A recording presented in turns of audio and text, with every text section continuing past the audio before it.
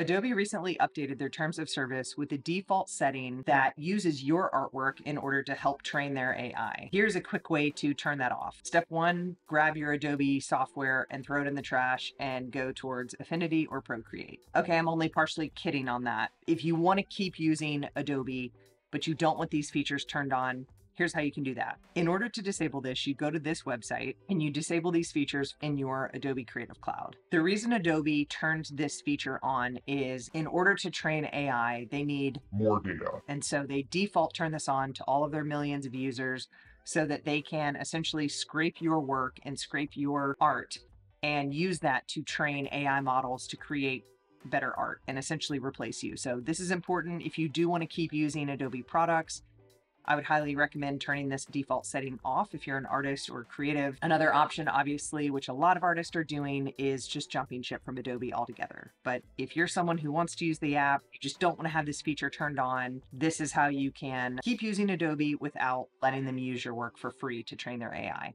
If you found this video helpful, give it a thumbs up. If you like art and just talking about creativity, feel free to stick around and subscribe, and I'll see you guys next week. Thanks so much. Bye.